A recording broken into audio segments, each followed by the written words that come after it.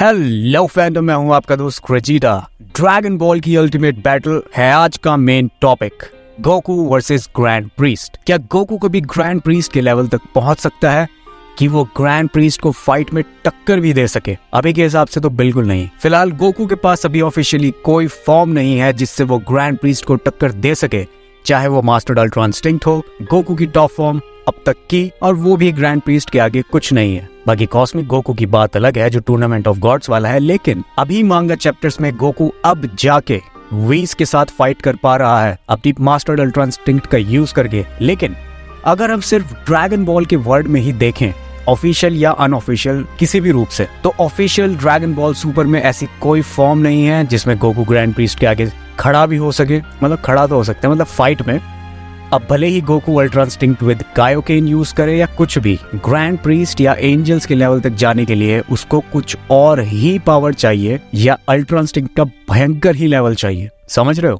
लेकिन बात करें सुपर ड्रैगन बॉल हीरोज की, जो कि एक गेम प्रमोशन आने में है, और मुझे पता है, बहुत सारे लोगों को पता है उसके बारे में, उसकी ऑफिशियल स्टोरी के हिसाब से इस चीज़ का कोई लेना देना तो नहीं है, लेकिन वहाँ एक ऐसी फॉर्म है जो कि ग्रैंड प्रीस्ट को टक्कर दे सकती है। मतलब याद रखना दे सकती है। मैं इस चीज़ पे ज़ोर इसलिए डाल रहा हूँ क्योंकि हो सकता है। अगर आप अब सुपर ड्रैगन बॉल हीरोज देखते हैं तो आपको पता ही होगा universe super Saiyan blue form ये फॉर्म भाई, अब तक की सुपर ड्रैगन बॉल हीरोज की सबसे ताकतवर, सबसे स्ट्रॉन्ग फॉर्म है। क्योंकि इस फॉर्म का यूज़ करके गोकू किड फू को डिफीट करता है, और वो किड फू का लेवल तुम्हें पता ही है।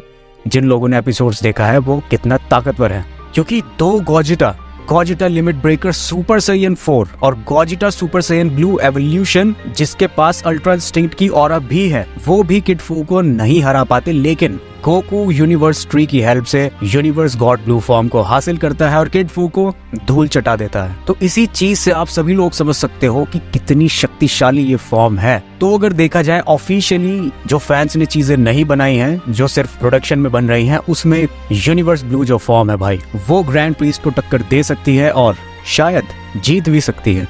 ये ज़्यादा हो गया, है ना? मतलब टक्कर दे दे, वही काफ़ी है। लेकिन आप लोगों के दिमाग में एक चीज़ ज़रूर आई होगी कि मास्टर अल्ट्रा इंस्टिंक्ट की टक्कर यूनिवर्स गॉड ब्लू ले सकता है या नहीं। इसकी मैंने एक बिल्कुल डिटेल में अलग से वीडियो बनाई है, अगर आप लोग आप लोग उसको देखना चाहते हो तो ऊपर कार्ड पे क्लिक करके उसको बाद में आराम से देख लेना, उसका लिंक भी आपको डिस्क्रिप्शन में भी मिल जाए। बाकी अब मैं बताऊँ तो अगर मास्टर अल्ट्रा इंस्टिंक्ट और यूनिवर्स ब्लू गो को अलग अलग टाइम से आके फ्यूजन कर ले तो शायद ग्रैंड प्रीस्ट का गला सूख जाए, लेकिन grand priest top five fighters में से एक है, और ग्रैंड जैनो के बाद सबसे ज़्यादा पावरफुल अगर कोई है सभी एंजल्स में, जो सभी एंजल्स का बाप है, वो है ग्रैंड प्रीस्ट और उसके पास बहुत ज़्यादा पावर है, जैसे हमने वीस को ही देखा है, कि उसके पास बहुत सारी शक्तियाँ हैं, जैसे टाइम को पीछे करना फ्रीजा को ज़िंदा करना, और यहाँ तक कि अभी हमने वीस को फुल पावर कभी नहीं देखा है. मतलब मैं देखना भी नहीं चाहता, क्योंकि वो कुछ ज़्यादा हो जाएगा यार. मतलब ड्रैगन बॉल यूनिवर्स खत्म. मतलब उसके लिए वॉइड में लड़ाई करनी पड़ेगी बट अभी तो ऑफिशियली कोई फॉर्म ऐसी नहीं है गोकू की या किसी की भी मतलब टॉप फाइव फाइटर्स का तो देखो जारामा का हमें नाम पता है, और उससे हमें पता है कि वो कुछ ड्रैगन टाइप होगा या कुछ लोग नेमिकिन बोलते हैं, लेकिन उसके अलावा हमें कुछ नहीं पता। तो ग्रैंड प्रीस्ट सबसे ताकतवर है, लेकिन सबसे मेन चीज़ गोकू सबको सरपास कर देगा। क्योंकि शुरू से ही ड्रैगन बॉल जी में भी ड्रैगन बॉल में जब वो छोटे से बड़ा होता है, वो अपने सारे दुश्मनों की पावर को सरपास करता है। फिर ड्रैगन बॉल जी में सारे कायोशिन और सुप्रीम काय को भी वो सरपास कर देता है। ड्रैगन बॉल सुपर में सारे गॉड्स को सरपास करके, यहाँ तक कि गॉड ऑफ़ डिस्ट्रक्शन को सरपास करके एंजल्स की पावर को वो हासिल कर चुका है। अब भाई गोकू रुक जा। लेकिन वो नहीं रुकेगा, क्योंकि अभी ग्रैंड प्रीस्ट और ऑमनिक किंग की भी भाई गेम बजानी है। उन्हें भी दिखाना है कि एक सैयन क्या कर सकता है क्या नहीं। बाकी आप लोगों को क्या लगता है, मुझे कॉमेंट सेक्शन में ज़रूर बता सकते हो। और मांगा चैप्टर के और जो लोग मांगा चैप्टर का वेट कर रहे हैं, अब ज़्यादा वेट करने की ज़रूरत नहीं है। ऑलमोस्ट चैप्टर कंप्लीट हो चुका है।